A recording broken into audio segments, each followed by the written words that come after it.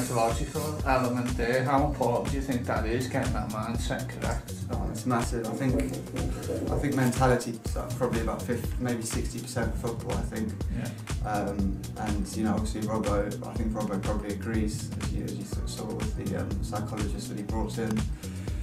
And he said that he's quite insistent on, on um, doing it more, uh, more regularly. So um, if we can get that side nailed down, um, 3 0 up after obviously cheated at the bar, but um, yeah, he's letting the lads express themselves, so yeah, it's good. Robbo mentioned in the past week about having a lot of meetings individually with players.